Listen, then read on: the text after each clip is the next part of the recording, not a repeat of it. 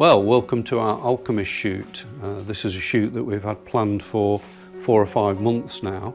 Uh, the reason four or five months, you'll see our model in a minute, which is uh, Mel. Um, he's actually Marlies's father and he's got a beard and he said he would uh, kindly grow his beard for us for four or five months.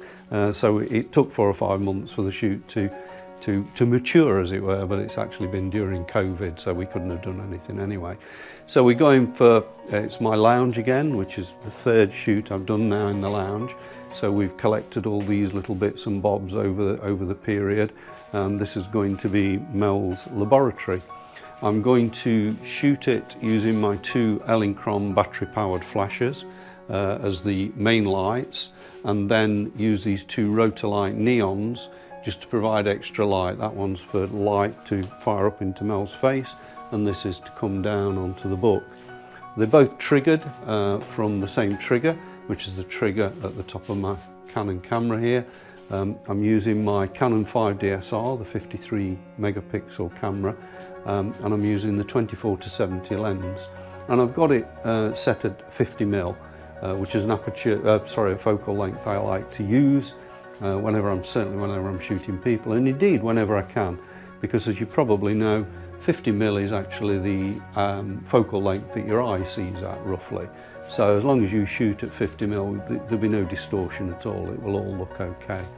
I'm shooting tethered, which I like to do in these situations. And what that means is that when I fire a shot away, so if I fire a shot away now, then you will see it will come up on the screen. Um, and the advantage of that is that it means we can see uh, very quickly if everything's sharp, so I can obviously uh, zoom in and make sure everything's sharp. It's taken a little while for the screen to resolve the 53 megapixels, but it'll pop in in a minute. There we go, it's gone sharp now. So I can check that it's sharp at the front, and I can check that it's sharp at the back um, of the, there we go, this is a bowl that I'll explain in a minute. I like to shoot in this tethered way. I think it's a great way. You, you see the picture bigger. You can really see if there are any lighting problems really quickly. The equipment uh, itself in, in our um, Alchemist laboratory, we've had great fun collecting this over the last four or five months and we've just been scouring around. Uh, the books were the hardest thing to come by, really old, authentic books, but we were lucky. Mel said he thought he'd got some in his loft and when he went up he brought these down and went, yeah, real bonus. Um, the quill pen, it is a real quill pen, I bought that off eBay just for a few quid, it really will write if we wanted it to. Uh, the powder here is coloured um, sugar, we've coloured it with food colouring and dried it out.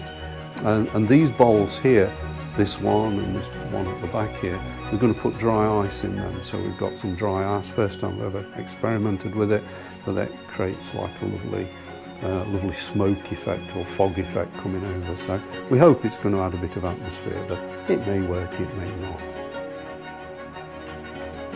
Okay, so here we go, we're loading it with the dry ice. The dry ice goes into the ice cage.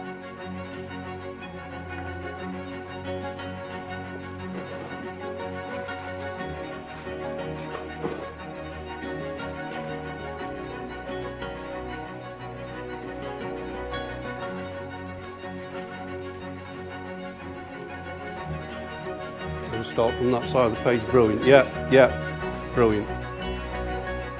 Uh, just need to straighten you. Just, just go with it. Screw it. Go.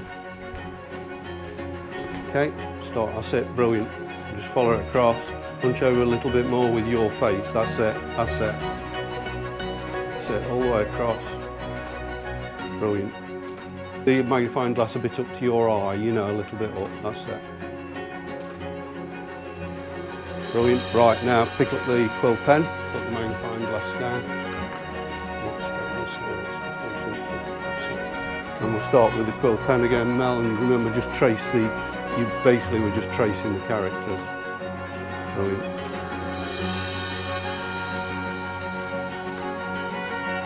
Brilliant. Fantastic. Right, pick up, put that in your quill holder and pick up the tube and yeah, okay, up we go.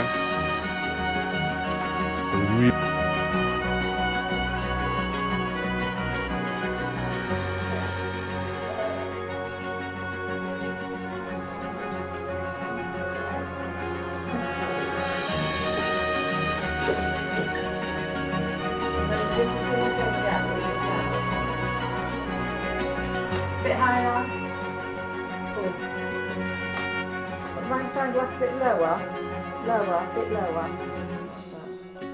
Then hunch right over.